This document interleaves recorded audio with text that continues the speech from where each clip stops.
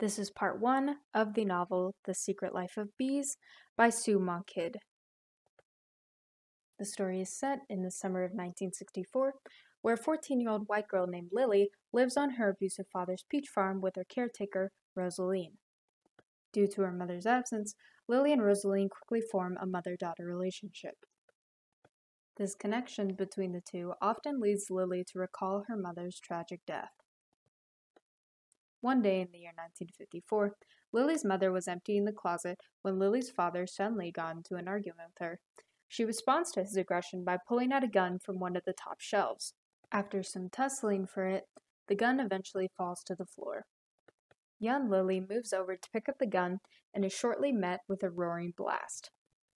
In the present, Lily only holds three of her mother's remains a picture of her with a car, a pair of her gloves, and a picture of a Black Mary with the words Tiburon, South Carolina written on the back. Lily knows Rosaleen will be heading out of town the following day, so she decides to tag along in hopes of persuading her to travel to Tiburon. The next morning, the two set off and walk until they encounter a group of white men. These men begin to shout racist remarks at Rosaline due to her black skin, but she defends herself by spitting on their shoes.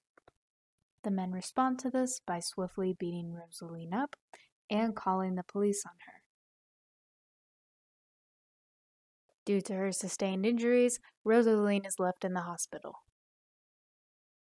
However, through Lily's quick thinking and planning, the two are able to escape together without notice. With nowhere to go now, Lily convinces Rosaleen to go to Tiburon with her. While walking, Lily and Rosaleen come across a gas station. Lily decides to go in alone. Inside, Lily sees a jar of honey with the Black Mary picture her mother had and asks the cashier who makes it. The man provides the producer's name and location to her. With some more walking, the two finally come across the honeymaker's home. The honeymaker, named August, warmly welcomes them into her home. While staying there, Rosaleen helps May, August's sister, with house chores, and Lily helps August with beekeeping. The two sisters also share a third sister, June, but she despises Lily and Rosaleen for dwelling at their home. While she's there, Lily tries to uncover more information about her mother without the sisters realizing that her and Rosaleen are fugitives. And that is the end to part one.